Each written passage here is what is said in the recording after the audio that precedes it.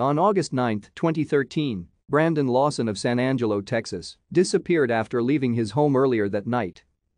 On August 8, 2013, Brandon Lawson arrived at his home in San Angelo, Texas, where he lived with his girlfriend of 10 years, Ladessa Lofton. Between approximately 10.45 and 11 o'clock p.m., Lawson and Lofton argued. Lawson had not returned home the night before, and Lofton believed that Lawson was on drugs at that time. At the time, Lawson had had ongoing issues with substance abuse but had been clean for about six months. Lawson's brother Kyle Lawson later claimed that Brandon had taken methamphetamines shortly before his disappearance. Around 11.30 p.m., Brandon Lawson called his father in Crowley, Texas, about a three-hour drive from San Angelo, and told him he was coming to his house.